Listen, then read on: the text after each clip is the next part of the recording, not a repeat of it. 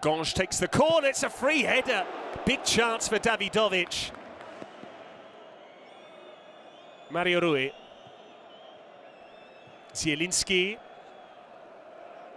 Raspadori's got away from Faraoni and stood up across. Politano scores. It is a big sigh of relief for the champions.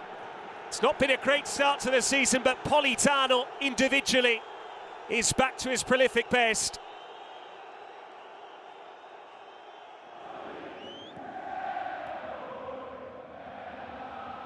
Cajuste breaking forwards.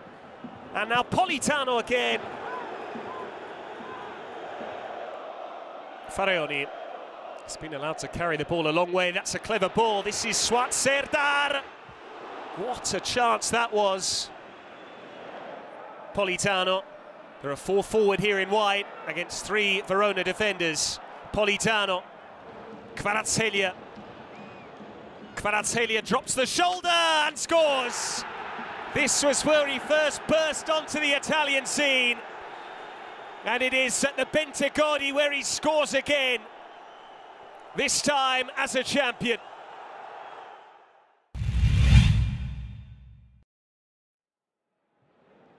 Magnani switch. Down by Faraoni, this is Djuric backing in.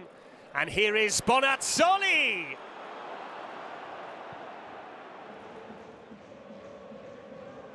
Politano can release Kvaratskhelia, who's clean through. Great advantage played. Kvicha Kvaratskhelia can seal the points here. Kvaratskhelia! He's firing all right. Osimhen injured, Kvaratskhelia to the fore.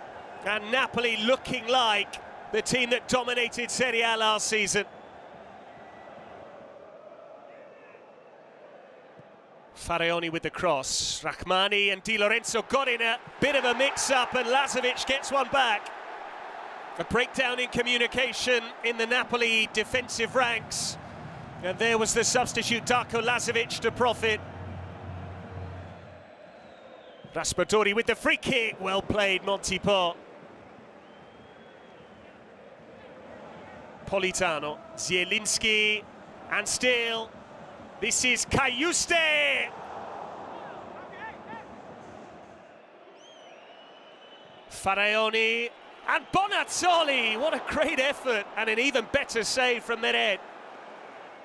Verona rallied, but their response came far too late. By then, the damage had been done by Kvicha Kvaratskhelia. Verona 1, Napoli 3.